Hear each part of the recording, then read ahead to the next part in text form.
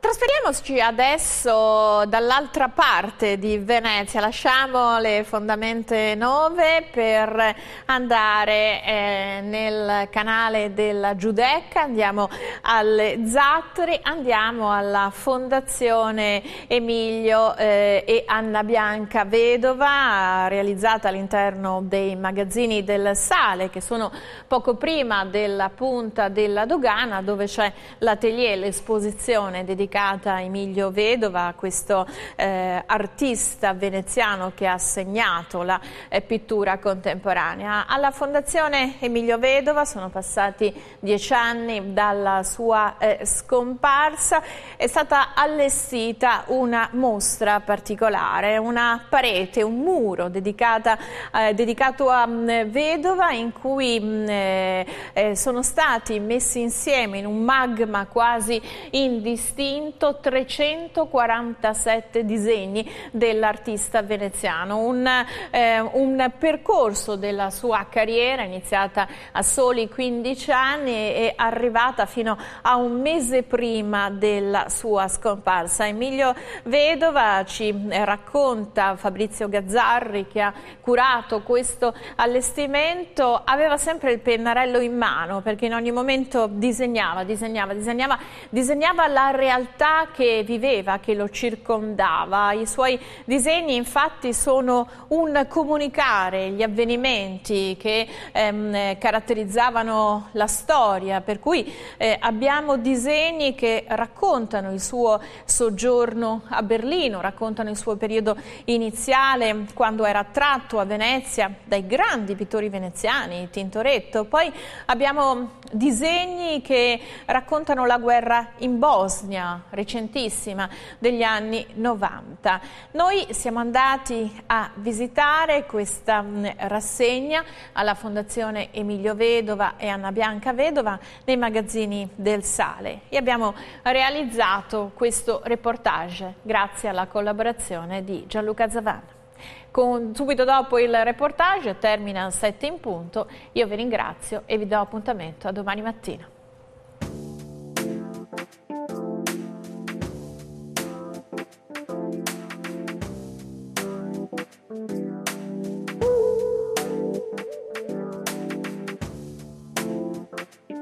Qui ci troviamo di fronte ad una collezione di disegni inediti di Emilio Vedova. Che collezione è? Eh, beh, più che una collezione um, una parte della collezione, cioè eh, una mostra che la Fondazione ha voluto mm, fare con grande soddisfazione per i dieci anni, sono già trascorsi dieci anni dalla scomparsa di Emilio Vedova e penso che eh, esporre eh, un percorso eh, del suo disegnare dal 35, quindi aveva 16 anni, era un ragazzino prodigio, si dicevano all'epoca, fino al, due, al 2006, cioè uno degli ultimi lavori, un mese, due mesi poco prima che lui morisse, un mese dopo su Anna Bianca, ehm, che è un, una carta, un monotipo realizzato per eh, Sandro Ramnik, nipote di Guggenheim, con il quale avevano concordato un lavoro, direi che forse è il modo più, eh, dire, più giusto, più corretto, anche più simpatico no, di, di, ricordarlo, no? perché penso che lui disegnasse anche dormendo o in qualsiasi altra situazione, perché aveva sempre in mano famoso pennarello no, di cui scrivo anche nel, nel, nel catalogo alcuni, così, alcune situazioni che anche simpatiche con lui perché era anche alla fine nel privato anche un uomo simpatico, anche divertente a volte. Come è cambiato il suo disegnare dai 15 anni al 2006? Eh, allora, la mostra, qui volevo anche arrivare, eh, riguardo appunto il suo percorso di disegno, l'abbiamo mh, mm, diciamo, divisa in due parti, una prima dal 35 al 40 e l'altra appunto dal 40 al 2006. Nella prima parte, per rispondere alla sua domanda, eh, noi troviamo ehm, i primi eh, disegni ehm, che si riferiscono al suo mm, essere nato e vissuto a Venezia fino a quel momento, da una famiglia umile, suo papà era un imbianchino lui, eh, tanti fratelli per la casa, mm, situazione insomma, abbastanza difficile perché eh, la famiglia era molto numerosa, le possibilità economiche erano poche e lui ricordava sempre questi bidoni di colore nei, corridoi, nelle, nelle case, nella sua casa, eccetera, e quindi si rifugiava nelle chiese in, in giro per Venezia e ha cominciato così. No?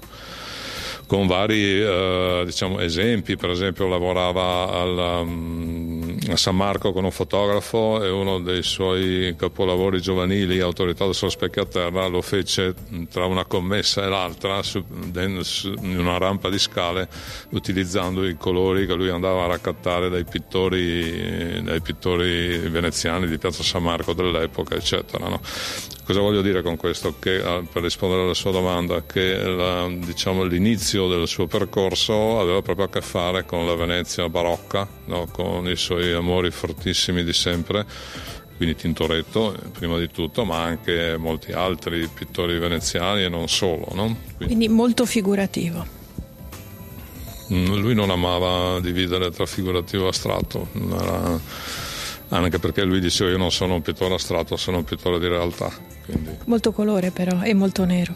Prego? Molto colore e molto nero al contempo. Eh sì, però certamente sì, ecco. quindi per esempio riferendosi a Tintoretto eh, perché lo amava, lui lo amava prima di tutto, insomma, perché la, la, la posizione, lo, lo, diciamo, gli stratagemmi e le idee compositive, quindi le diagonali, i punti di fuga, eccetera, una pittura molto veloce, no? lui amava la velocità, infatti dopo questo periodo eh, studiò e si accostò profondamente al futurismo, no? anche da parte sua, anche con un certo imbarazzo, perché in quegli anni il futurismo era, eh, no, così secondo futurismo almeno era. È un'etichetta politica politica. Sì, esattamente, siccome lui era da un'altra parte, eh, però eh, il suo lavoro veniva prima di tutto, no? Quindi, infatti Morosini lo chiamava, vedo, il futurista negli anni 40, cioè, ma era vero, insomma, no? perché amava la compresenza, la velocità, gli schianti, cioè la, la, realtà nuda e cruda da affrontare, così come, no? così come arrivava anche i suoi amori, non solo Tintoretto, ma anche Goya, anche Van Gogh, tutti quegli artisti che hanno che avevano un contatto fortissimo con la realtà, con ciò che accade sotto i nostri occhi e sopra la nostra pelle e quindi senza questo per lui non era quasi concepibile un'esperienza dell'arte. No? Quindi quando dipingeva, disegnava, il tratto caratterizzante era l'intensità? Sì, possiamo dire anche questo. Sapeva caricarsi di intensità, sì. E la seconda parte della mostra?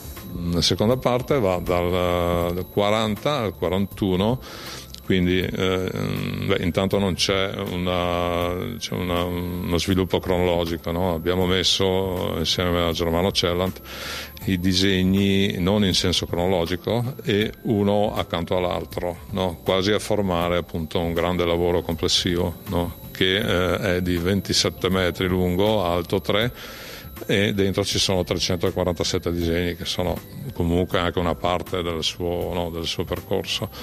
Come li avete selezionati, visto che sono una parte del percorso? Um, abbiamo cercato di, di, coprire tutti i momenti significativi di questo viaggio. No? Dopodiché, eh, invece, come installarli, eh, lì invece si è ci siamo, ci siamo, forzati di rimanere nella casualità, cioè nel senso no, appunto di non lavorare con un aspetto progettuale razionale, nel senso cronologico, di uno sviluppo, eccetera, ma di stare proprio dentro a quella che era la, una delle caratteristiche del pensiero e dello, eh, diciamo, dell'essere vedova, e cioè quello appunto della compresenza, della relatività di tempo e di spazio, eh, come faceva lui, no? lui girava un'opera del 35 diceva è uguale a un'opera del 2000 e, e tanto, eccetera, eccetera. No? Quindi lui Quindi per questo... questo spazio.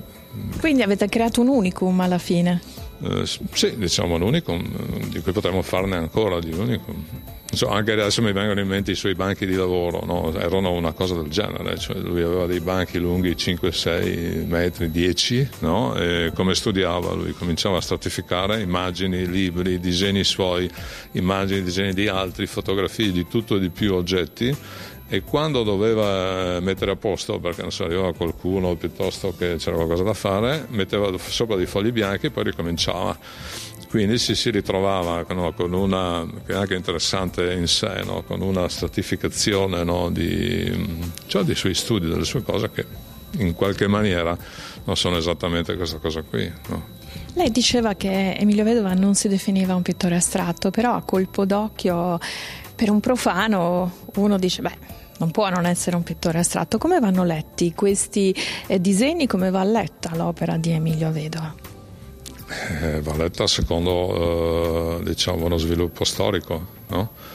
Il, tutto il suo percorso, basta prendere il suo catalogo antologico, eccetera, e, e, e si può capire. No? Mm, quindi quando lui dice non sono pittore astratto, lo disse nei primi anni 50 anche per differenziarsi da altre correnti no? che facevano appunto dell'astrazione eh, un, contenuti certamente interessanti ma che non appartenevano alla sua natura e altre volte contenuti formali. Ecco, lui era, era mm, potremmo per semplificare, aveva paura del formalismo, no? No, stava da un'altra parte rispetto alle, diciamo, alle estetiche no, di un certo tipo. No? Tanto è vero che nei suoi studi, per ricordarselo, eh, lui scriveva sempre ogni giorno, un giorno eh, ogni giorno sull'orlo del precipizio e quindi si dava la sveglia no, eh, a se stesso in questo senso per ricordare che appunto l'intensità di cui parlava lei prima deve essere il punto di partenza. No? Poi ci sono intensità e intensità, certamente. No?